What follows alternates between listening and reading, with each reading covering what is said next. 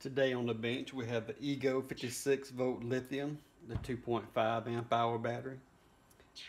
I do like the Ego system, it's got a really good battery, I've had good luck with it. Um, unfortunately this one, uh, less than six months old, has developed a problem. It's uh, blinking, blinking the green indicator on the LED constantly. It will even drain the battery. So uh, I thought we'd just open it up take a look at it.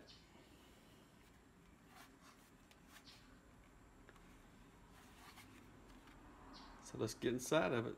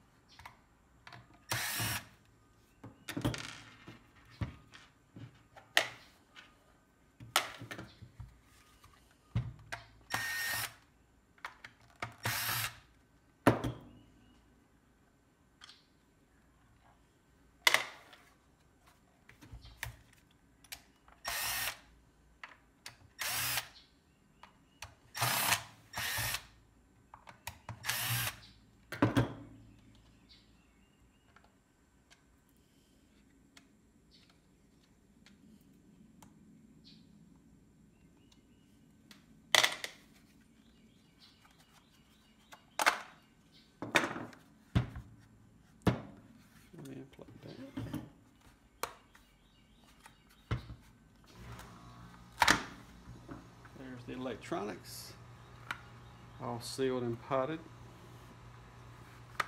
Very very well. There we go the bottom coming off without even prying. You have to get my screwdriver out so far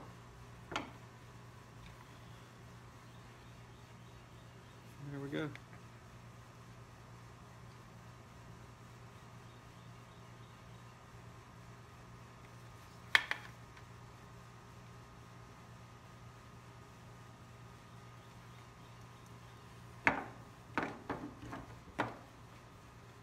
I really like how,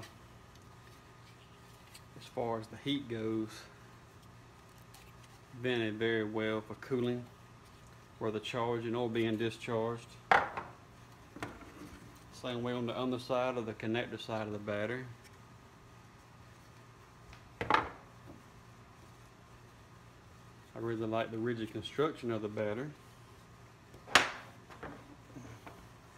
Now for the good stuff. I'm going to take this connector off so we can get this top plate or bottom plate rather out of the way.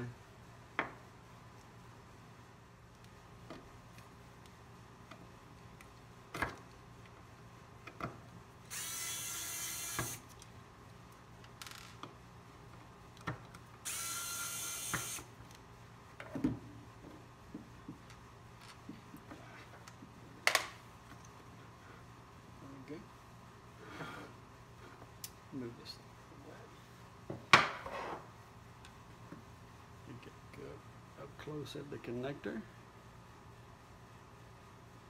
Lots of good grease on there. High current, potted very well.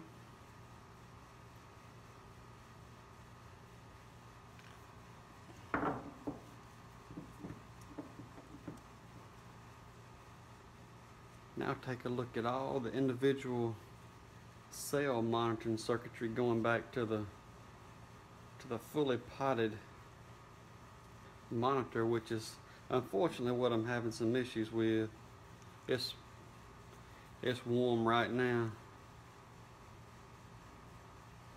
which I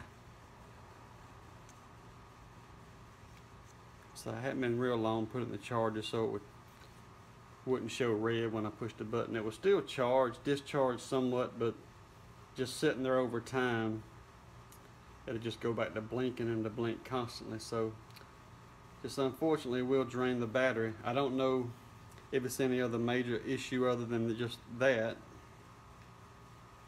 But I just thought we'd check individual cells and see what we see. Arc lithium's interesting in the way that they have the sleeve over the battery.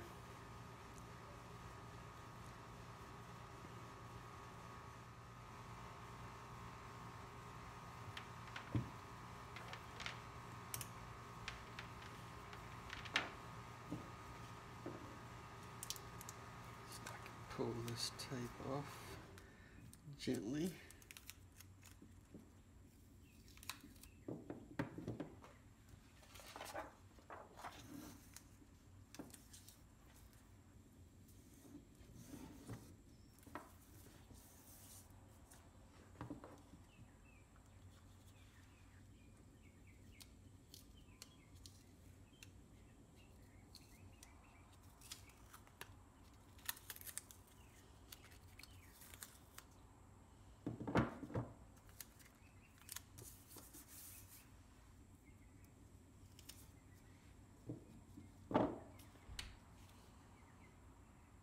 Wow, look at there.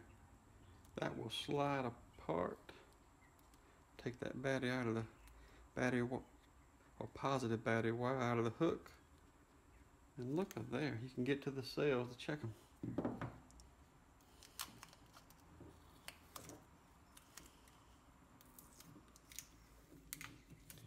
I'm gonna try my best not to let any cells touch there.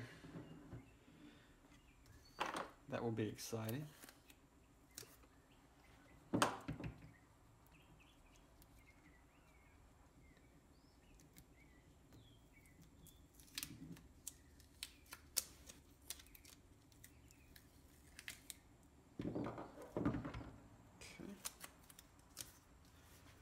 All right, set those aside.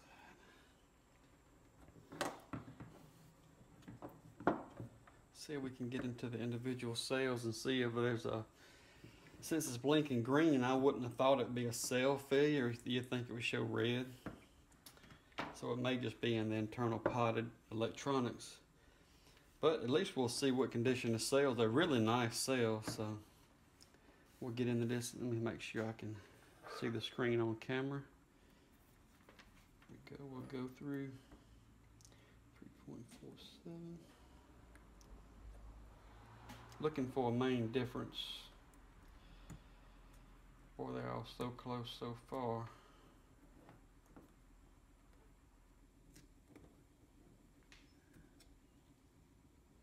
Okay.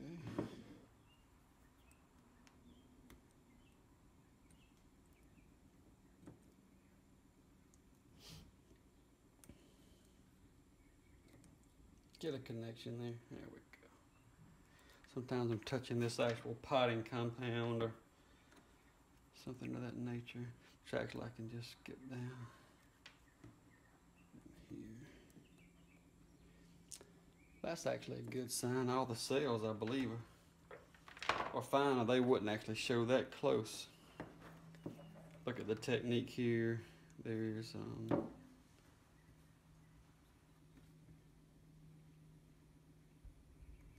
so there's 14. 14 actual cells. They give you the 56 volts.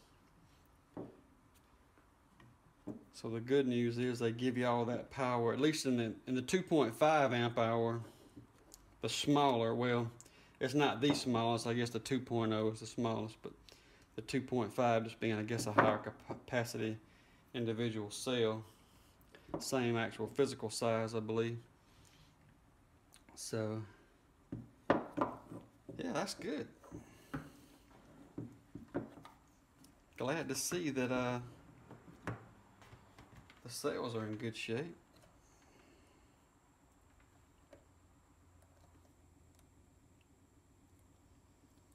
Showing right at 48 volts, which 3.45, so there you go. I just wanted to mention that I waited for a while and came back just to see because I still feel the warmth in this potted uh, circuit board. I don't have a nice thermal camera, excuse the crudity, but you can definitely tell from ambient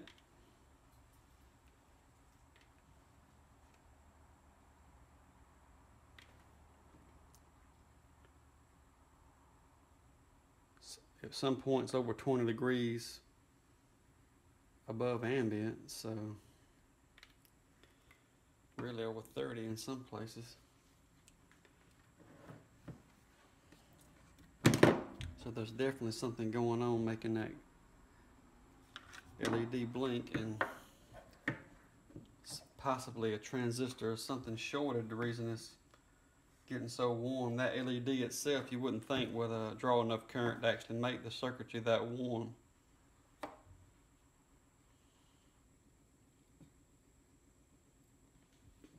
But while we're talking about thermal, uh, it, it's worth mentioning that these batteries, the reason these cells are covered in this ring like they are, this sleeve, if you will, I've read, uh, it was very interesting to me before I bought an Ego product. I read that, that these use latent heat, like a basically a state changing, almost like think about solder, if you will. Um, take your basic solder that takes so much heat to make it change from a solid to a to a molten liquid but in this case if it's true what they said then these sleeves absorb a lot of the heat from the battery which should help the cells tremendously. If you know about latent heat then uh, it's a lot of thermal energy that it can absorb just by changing states and changing back. So at least in theory, that's a really, really good idea. Uh, I'm not sure. Someone, someone's posted that Tesla has the same type of technology, and I, and I don't know if that's true or not.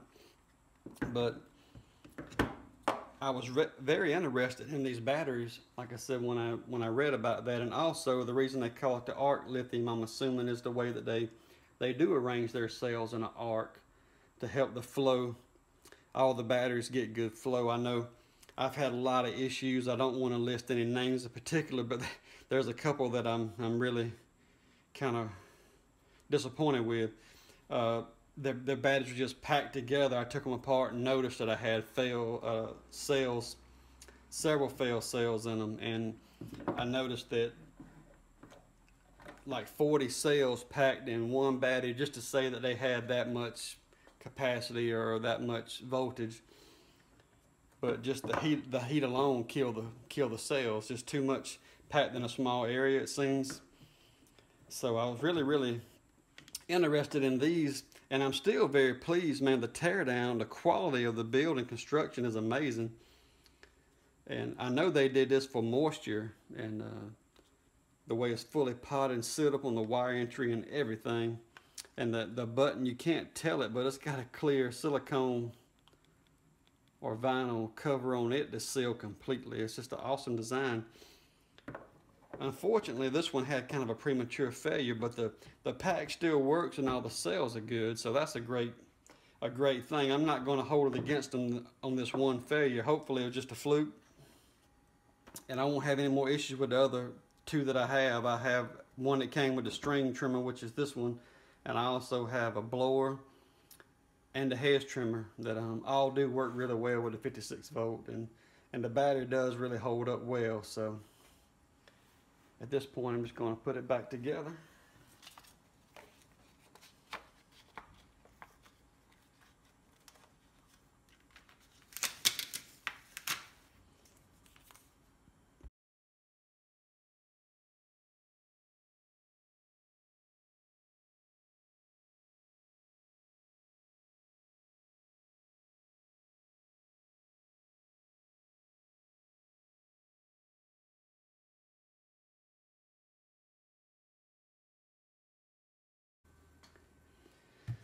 So there you go, it's back together. So if, if anybody else out there has any ideas or has figured out the uh, the green blink without getting into the electronics being potted, uh, please post it down below. Let us know. Um, I'd hate to see the battery's usefulness, uh, you know, go away just because of that that one issue that may be may be common, may not be. But um, since the actual cells themselves uh, still got so much life left, so if you got any ideas, please post them down below. Um, you know, one thing I should mention at the end of this video is the fact that I left out earlier. I did call Ego just to say for for their customer support and all. I did call them and tell them about the issue with this battery. It's got a three-year warranty on the battery, so it's only been less than six months. So they did not give me any problems at all. They they just um, it was registered. Copy of the receipt, a photo of the receipt was actually on file. So when you register the unit, just do that.